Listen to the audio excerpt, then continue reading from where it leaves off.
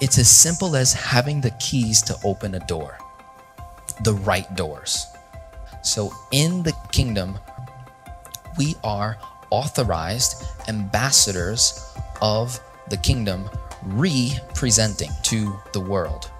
So if you learn how to master money, it cannot master you. So therefore, you're a master over it, and now you can focus on your true master.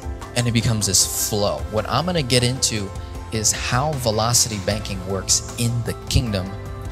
We're talking about multiplying your income, multiplying, not growth. I'm all about multiplication. I'm all about multiplying your money over growth.